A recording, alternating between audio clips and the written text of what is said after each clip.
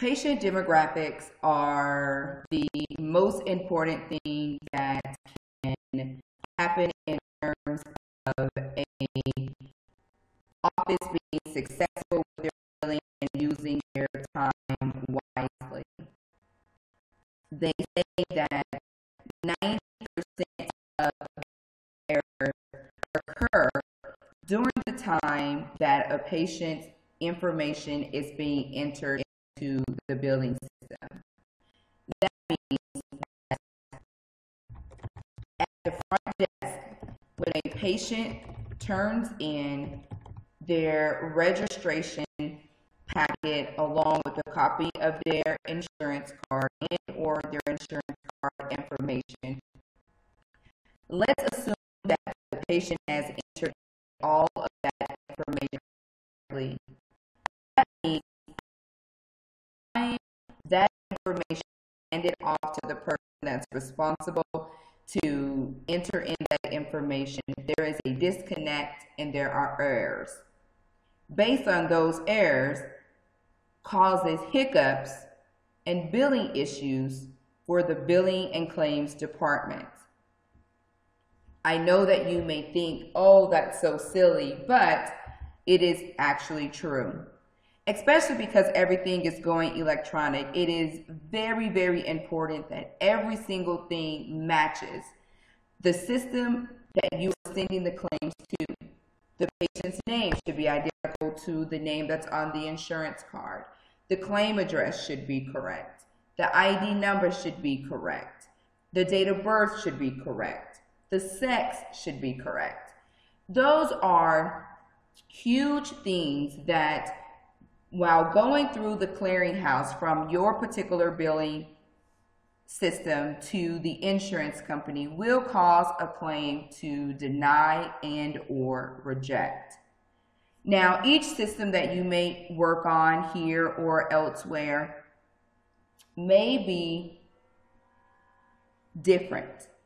It may look different, it may have different features, but ultimately entering in patient information is all the same. So we're going to provide an example.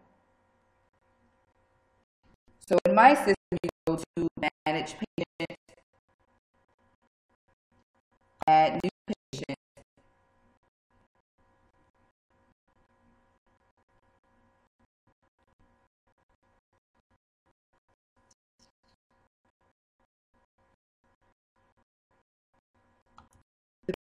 be assigned a position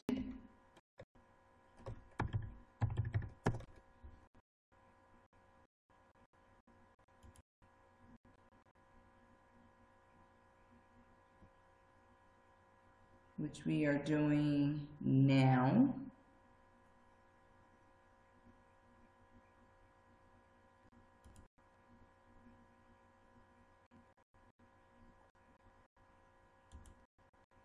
Once a position is assigned, you want to make sure that the name is spelled exactly the way it is on the insurance card or registration form.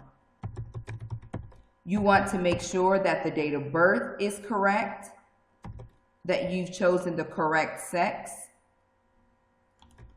that you provide a valid address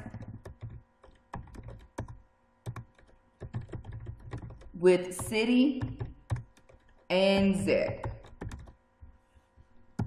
Now you want to make sure that you limit the amount of commas and periods and hashtag signs for apartments because those are some things that can trigger the system not to allow the claim to go through. You want to make sure that the city and the zip code match. There are sometimes in rural areas or when new cities and zip codes are being developed that you will need to use an older zip code, but for the most part, the city and the zip code should all match. You want to make sure that you always get a phone number and a backup phone number.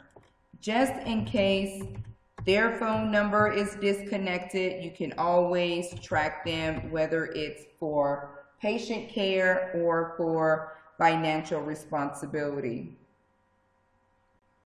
I always suggest that you put down a email address, especially if the patient is younger in age. Um, I know that a lot of systems will do email reminders and or text message reminders. So you do want to make sure that you always get an email address and a valid phone number and backup phone number. Their employer information. This information is important because when you are dealing with a group policy, a policy that the patient has through her job, knowing that employer's name is helpful when claims denied so that you can be transferred to the right group if the plan is group specific. Always, if they have a contact person, you want to take down their information for emergencies or past due balances.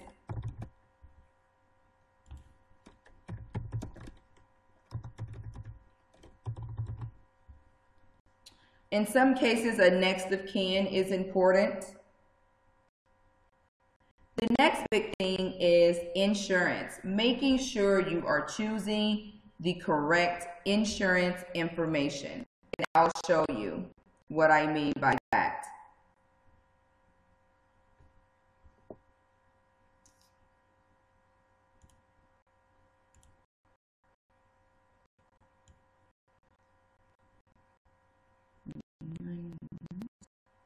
Now, look at here.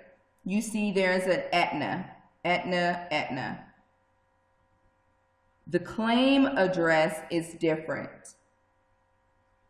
You have a Ameriben. You have two different payer IDs for a Ameriben. See, these are the details that would be the reason that if you chose the wrong Aetna,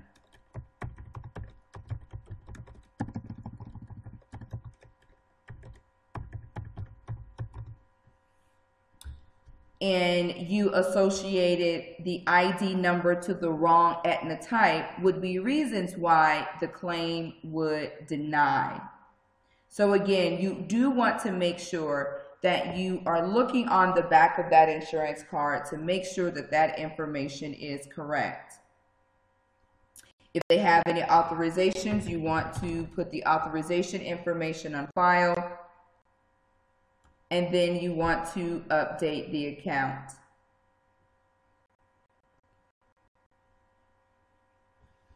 Now, a lot of the times in the medical field for obstetrics and gynecology or maternity or family practice, or really any time you're at a practice where multiple family members will attend, it is important that you the correct account.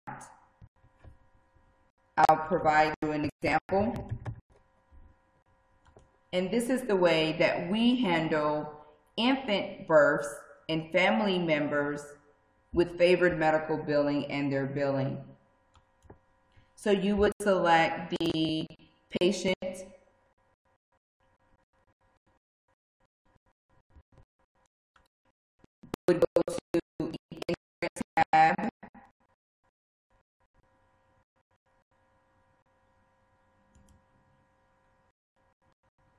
And then down here, dependent information.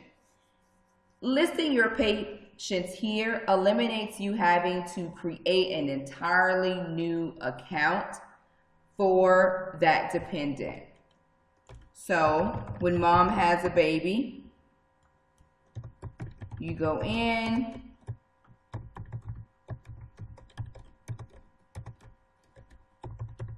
and you add baby's information, the sex. In this case, it would be child. If it was the husband or wife, you would put spouse. if it was the grandparent or niece or significant other, you would put other relationship. In this case, again, it's child. And then you hit add dependent. So that the information can be updated. Dependent is now, now let's hit update.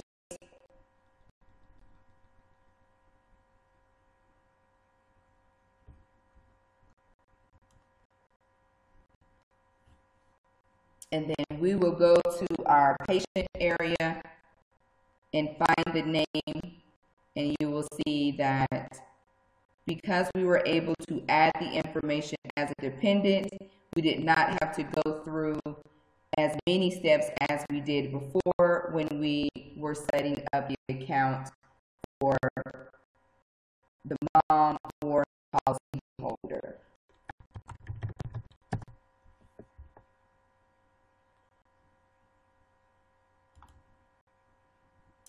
And there they go.